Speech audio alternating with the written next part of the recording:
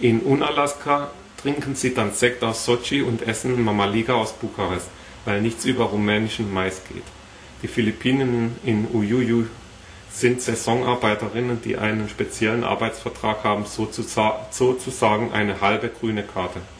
Vince hat ein Kind mit Rosa von Guadalcanal, mit der er schon auf den Marshallinseln war.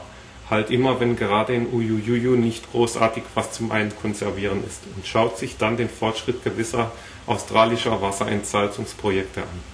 2004 lernte er den Projektmanager aus Sydney kennen, Frank Armbruster, der 1992 aus Lauterbach im Schwarzwald als Zerspannungsmechaniker nach Melbourne Melbourne ausgewandert war, bis 2004 jedoch Ingenieur für Turbinentechnik war und in Zusammenarbeit mit der Uni Sydney ein Projekt für Entsalzung auf den Marshallinseln leitete. Vince lernte ihn in einer Bar kennen und Frank sagte ihm eines Tages, dass er Heimweh hat nach seinem Lauterbach. I miss my good old Lauterbach, our machine shop, the smell of swarf, the oil dripping from the stillage, and chatting up girls working in the rat house. This was a crucial time in my life. I now feel a true Aussie, however. I'm sorry the girl I, I brought from Germany didn't get the full Monty treatment, but what can I say? I am happy. I'm a happy family man and Sheila wouldn't have it any other way. Frank hatte Elke nach einem halben Jahr in Melbourne wegen Sheila verlassen und Elke hat mir am Telefon von ihrem Elternhaus erzählt, dass sie es schwer hatte in Australien um in der dritten Person weiterzuschreiben. Mittlerweile sind Hassan in Baku schon drei Helis ins Kaspische Meer gefallen und dem dritten ist er nachgesprungen, weil er sonst keinen mehr bekommt. Aber mittlerweile ist er aus dem Alter fast heraus und widmet sich dem Wassersport, um eine Regatta an die Ostküste zu veranstalten. Sein Vater kann hingegen den Botschafter Turkmenistans nicht mehr sehen, und zwar aufgrund der Entscheidung Turkmenistans, ihr Equipment von China zu beziehen und dabei waren die gerade so im Aufschwung mit ihrer Erdöl- und Gasindustrie. Zeit für Hassan erwachsen zu werden. Er trampt, er trampt zunächst die nördliche Route ums Kaspische Meer nach Aschgabat, um dort das Interesse für eine Regatta zu sondieren, findet dort jedoch eine eher blasé Haltung, sodass er zurück in Baku selbst den Botschafter, selbst den Botschafter aufsucht und ihm als Ankunftshafen, Ankunftshafen Yauzi vorschlägt. Die anderen Städte an der Küste Turkmenistans sind in Google Earth kaum zu erkennen. Der Botschafter schlägt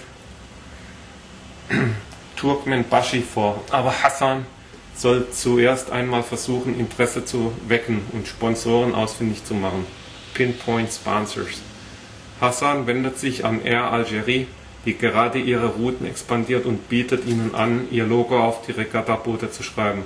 Der GDP von Air Algérie, Monsieur Abdallah, ist fasziniert von der Idee, findet sie jedoch unpraktisch, ob Hassan die Veranstaltung nicht umverlegen will, zum Beispiel nach Marseille, dem Eingangshafen für das algerische Kerngeschäft, Frankreich.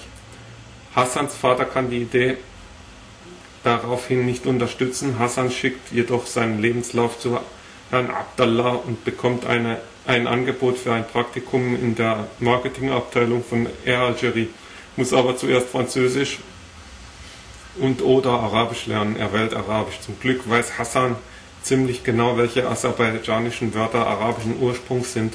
Er schreibt sie alle auf und zählt sie. Vielleicht 2453. Jetzt fehlt ihm noch der Kit, um sie zu verbinden. Er lernt die 100 häufigsten arabischen Wörter und verbindet sie spielhaft mit den anderen, um Sätze zu bilden. Später und über sein Praktikum hinaus kompiliert er alle arabischen Wörter und durch sämtliche Turksprachen und listet sie in einer speziellen Webseite mit der Bemerkung. Alle diese Wörter wollt ihr Hüter der Reinheit der Türkischen, des Türkischen eliminieren, wodurch er ein Einreiseverbot für die Türkei bekommt. Das war aber erst um 2013. Mittlerweile in der Marketingabteilung lernt er Susanne kennen, ein Mädchen aus Beirut, die ihn nach Beirut mitnimmt. Von dort fliegen sie nach Amman und gehen in ein tief gelegenes Tal, in dem es so heiß ist, dass es Einheimische da unten angeblich nicht aushalten. Die schwarze Bevölkerung dieses Tals pflanzt Bananen an und wurde ca. im 17. Jahrhundert vom damaligen Statthalter eingeladen. Seit 300 Jahren pflanzen sie da unten Bananen und leben mit den Jordaniern wahrscheinlich wahrscheinlich wie Ebony and Ivory, was zu einem der bescheuertsten Liedertexte gewählt wurde, weil die weißen Tasten ja schließlich die Schwarzen nicht vor 300 Jahren gefangen und versklavt haben. That's it, folks. Thank you.